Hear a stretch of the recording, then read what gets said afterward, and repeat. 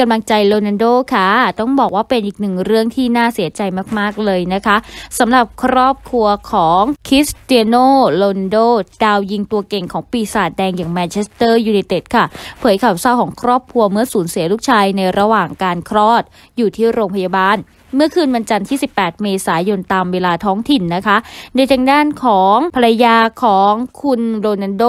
นั่นก็คือคุณ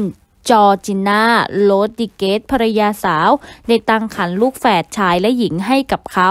พร้อมกันทั้งคู่ก็ได้โพสต์แจ้งให้แฟนๆทราบด้วยการโพสต์ภาพแห่งความสุขระหว่างที่เข้ารับการอัลตราซาวด์เมื่อปลายปีที่ผ่านมาแต่สุดท้าย ศูนย์หน้าตัวเก่งในวัย 37 ปี พบกับข่าวร้ายที่ได้สูญเสียลูกชายระหว่างที่แฟนสาวชาวสเปนเอง เข้ารับการทำคลอด เหลือเพียงแค่แฝดหญิงที่รอดชีวิต เจ้าตัวก็แจ้งข่าวเรื่องนี้ด้วยตัวเองค่ะ ด้วยความเศร้าอย่างสุดซึ้งที่เราต้องประกาศว่าเราสูญเสียลูกชายของเรา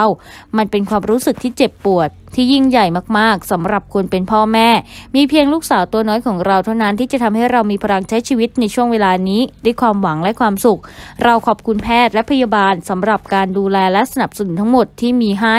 ทางทีมงานต้องขอแสดงความเสียใจกับครอบครัวด้วยค่ะ